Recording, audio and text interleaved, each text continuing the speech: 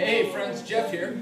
As you guys know by now, I love to share cues, techniques, and drills that I've learned along my journey that have helped myself or my students become better kettlebell practitioners, or for that matter, just better people in general. So, here's a great one for squatty swings.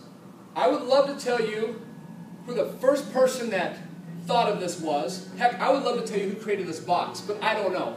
You know, I'm not creating this stuff always, right? I am just sharing things that I've learned. And this is a damn good one for squatty swings. So, squatty swing, you know, people are squatting into this, this motion instead of hinging. Well, if you put a box between their legs, they're not going to be able to squat, right? So, something like this, around tibial height, right?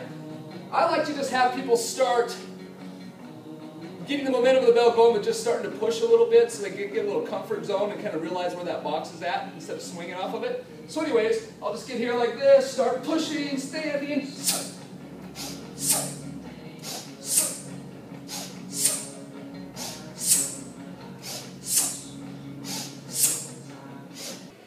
Hey guys, when you're using this drill, I would recommend gradually building up the height of the box that you're using to ensure that your clients are learning the hinge properly and that they're not going to whack that box when they very first try it. So build up from the ground up to tibial height as their hinge is improving to make sure it keeps them nice and safe. So hope this, uh, this drill works for you as well as this worked for me. Thank you.